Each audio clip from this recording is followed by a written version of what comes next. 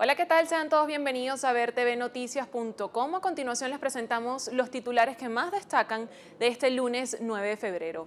El grupo de venezolanos perseguidos políticos en el exilio envió una carta a cuatro congresistas estadounidenses en la que piden una audiencia en el Congreso para exponer la violación de los derechos humanos, tortura y persecución que, según consideran, sufre la resistencia en nuestro país Juan Carlos Gutiérrez, abogado defensor del líder de Voluntad Popular Leopoldo López, informó que 13 testigos que se presentarán este lunes en la audiencia de juicio no aportarán pruebas en el caso. Manifestó que un grupo de funcionarios del CICPC hará referencia al tema de los estudiantes detenidos y otro de la Guardia Nacional testificarán sobre un procedimiento que se aplicó mucho después a que López hubiera presentado.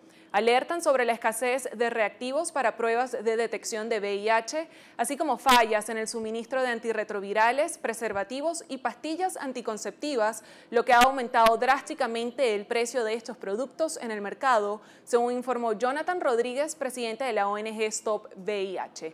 En internacionales, en una columna de opinión en el diario español El País, el reconocido escritor Mario Vargas Llosa hace una analogía entre una vieja tradición japonesa llamada el y las decisiones políticas de los gobiernos de América Latina y Europa. Con respecto a Venezuela, el Nobel de Literatura hizo un análisis muy crítico sobre el gobierno que denomina antidemocrático, liderado por Nicolás Maduro.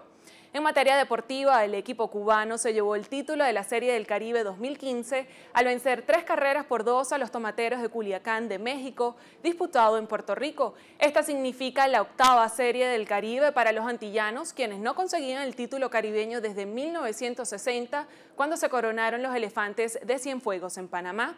Y en espectáculos, la agrupación mexicana Maná lanzó este lunes su esperado sencillo junto a la talentosa cantante colombiana Shakira. El tema producido por George Noriega y coproducido por el vocalista de Maná, Fer Olvera, habla de inspiración, paz y amor incondicional. A partir de este martes, la canción estará disponible en todas las plataformas digitales.